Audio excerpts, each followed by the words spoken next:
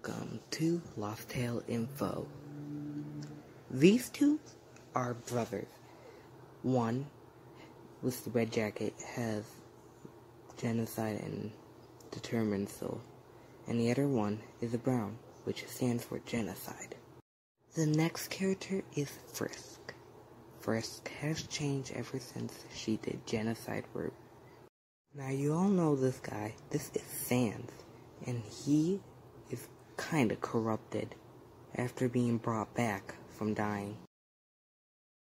Now, this is Chara. You probably already know she probably looks like uh story shift Chara, but she's not. She's Chara, the real Chara, after being killed by Frisk. Next one is Lost Flowey.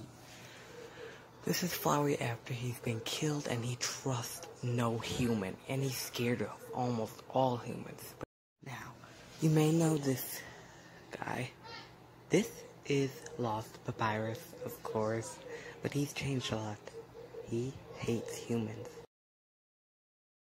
And the last one, but not least, Lost World.